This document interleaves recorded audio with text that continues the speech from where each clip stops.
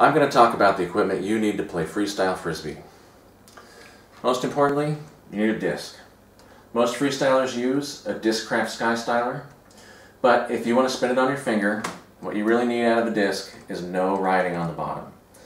This disc has no writing on the bottom. This is a Sky Styler. Uh, it is the preferred disc of freestylers everywhere for a number of reasons, but no writing on the bottom. You need a disc. Also, we use silicone spray, sometimes silicone liquid or silicone grease. Any of those will do. Uh, the idea is that you want the bottom not to be as sticky as the plastic kind of naturally is. You also need a slick rag. I use a sock, and the reason I use a sock is because sometimes my socks get holes in them. I don't know if you can see that, and uh, it's a nice way to reuse the sock. But it also doubles as a container, so I can put my spray in here and put it in the sock and I've got a nice little container for my spray. I can always find everything I'm looking for.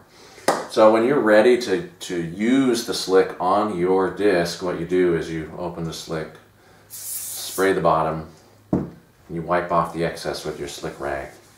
Now eventually your slick rag gets a little bit uh, full of silicone and that's actually a nice thing to have because it helps keep your disc clean and it, and it makes it so uh, the disc always kind of comes out nice and, and slick so you can spin it on your nail.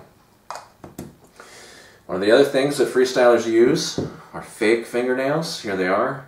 Uh, the, this is an acrylic nail. Acrylic tends to be the ones that people use most nowadays. You can buy them online. Um, but you can make your own nails too. You can make them out of crazy glue tubes. You can make them out of PVC. You can make them out of basically any plastic. You can just cut them in the shape of a nail, get them roughly the, the shape of your own nail, and then you glue them on with super glue. Uh, it doesn't have to be super brand glue, it can be any kind of glue, really. Um, as long as it's uh, cyanoacrylate, you know, sets up real fast.